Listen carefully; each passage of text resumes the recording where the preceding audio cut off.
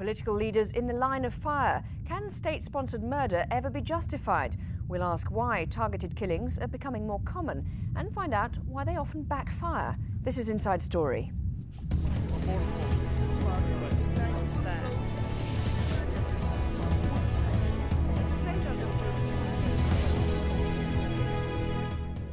Hello, I'm Lauren Taylor.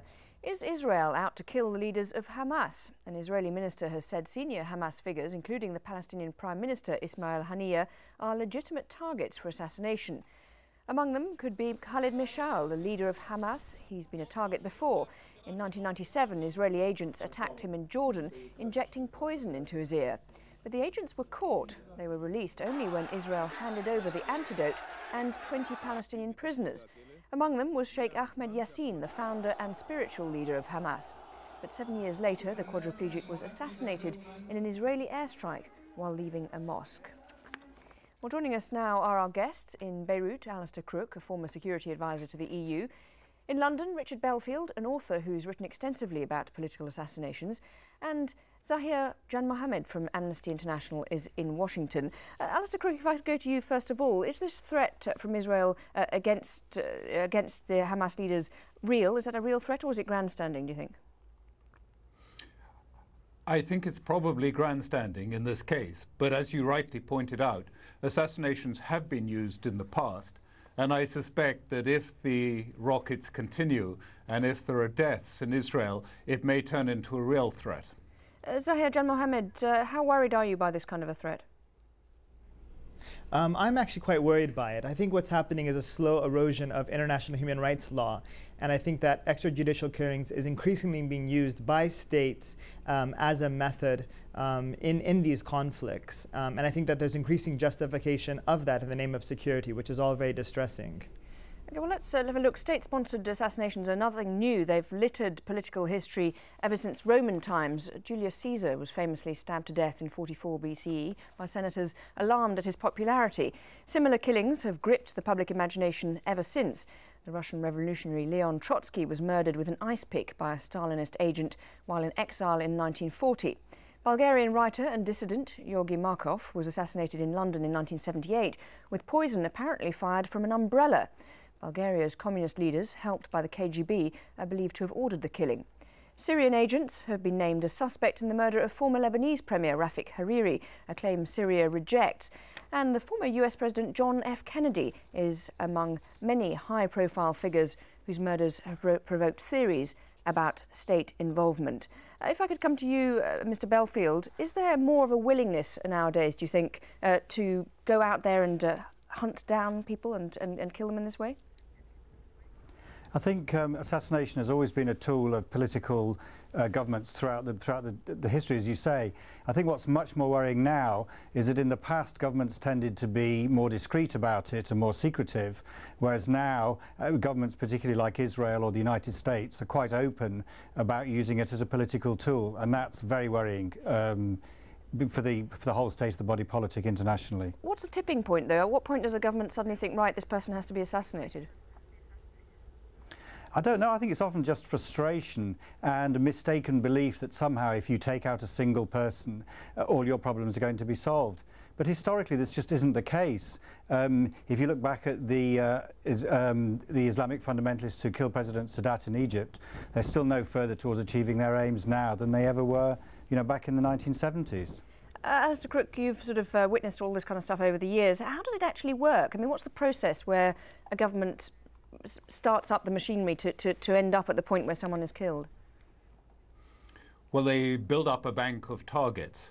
They choose those targets according to criteria laid down by the government. They might be political or they may be military, but it, it, the interesting thing is the effect of this on the morality of the state and the corrosiveness of it. For example, you get into the questions of how many innocent people can be killed. And in Israel, they actually set up a committee with mathematician to work out how many innocents could be killed in a targeted assassination and came out with a figure of 3.14 or more if it should be children as the acceptable loss of life of innocent victims in committing an assassination. And I think it brings in a whole uh, field of other sort of calculations, uh, apart from the one of the psychology and what it does to people and what it does to the people who are committing these acts and what it achieves. And I think one of the things it's, uh, uh, the last speaker just said, which is very clear from my direct experience, is that it's not been effective. It is actually been counterproductive. And so I think the pursuit of it now is very much because it's become an ideology, it's become a tenet of belief, contrary to all the evidence that this is somehow an effective tool. I think it largely reflects the bankruptcy of our thinking about what to do about the challenges that are facing the West at this time. If I can bring in Zahir Janmohamed, is uh, part of the problem in some cases governments are more or less open about this. Uh, what do you do about the fact that a state can quite easily deny being involved in, in an assassination? Um, well, I think that the, key thing is that a lot of states, are, in fact, are not denying their, their involvement um, in these. I think there's sort of a Wild West sense of justice. You see this very much with the Bush administration, um, maintaining the right to bypass the international community and to basically do whatever it wants. I think in the case in which the state does deny, I think there is oftentimes irrefutable evidence um, of, um, of political assassinations by the state. And I think that one of the things that's important is for the international community to up to hold these states responsible, including the United States. And I think what's happening is a general climate in which these actions are condoned. And I think, what, as the previous speaker said, it just triggers a whole uh, system in which you know, violence is being seen as a recourse uh, to address political grievances by both the state and by non-state actors. Okay, well, let's uh, take a look at the moment uh, briefly at the American experience. In 1976, uh, President Ford signed Executive Order 11905 banning assassinations. Uh, in the aftermath of the Vietnam War and the Watergate scandal, uh, there was considerable concern about CIA covert operations. Then in 1981, President Reagan reinforced the ban, signing Executive Order 12333. This states no persons employed by or acting on behalf of the United States government shall engage in or conspire to engage in assassination. However, before the September the 11th attacks, the Terrorist Elimination Act was introduced to Congress, which proposed aggressive anti-terrorist measures. It was never passed, but following the attacks, President George Bush managed to ease restrictions on military and CIA missions to kill Osama bin Laden. Um, do you think, uh, if I can bring you in, Mr. Belfield, do you think uh, that, uh, that there, there, are sort of rather extravagant methods that have been used in the past, uh, and now things are slightly more obvious?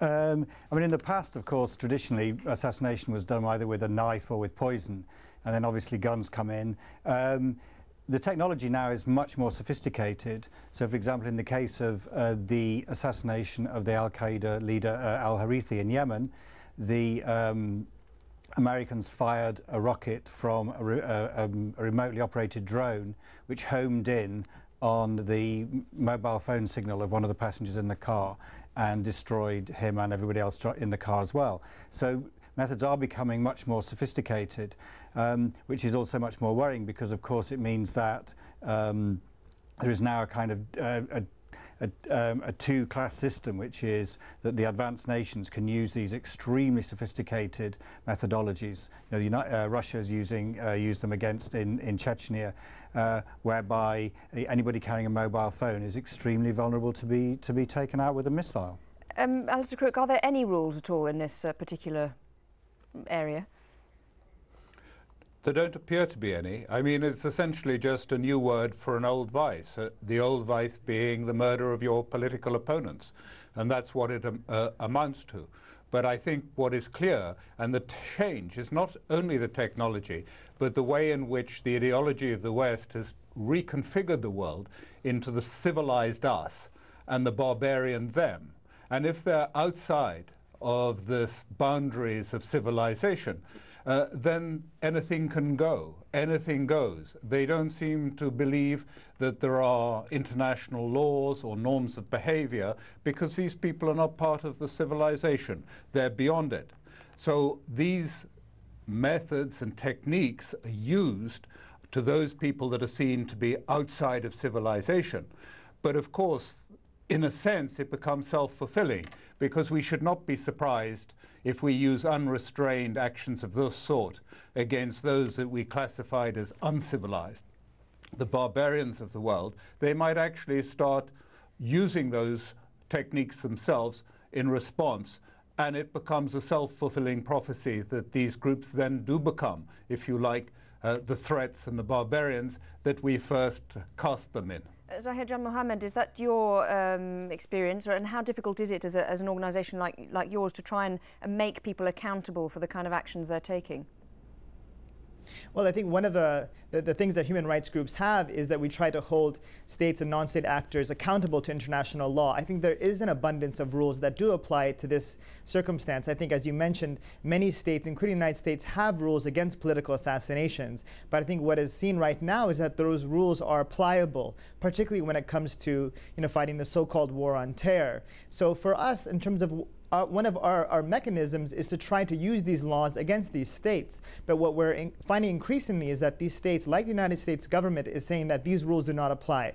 That when it's fighting terror, that it can do anything and will do anything. And I think what happens is that that creates an overall climate in which you know, our criticisms are met by, well, we're justifying the, you know, uh, an Al Qaeda leader, we're justifying some Hamas leader.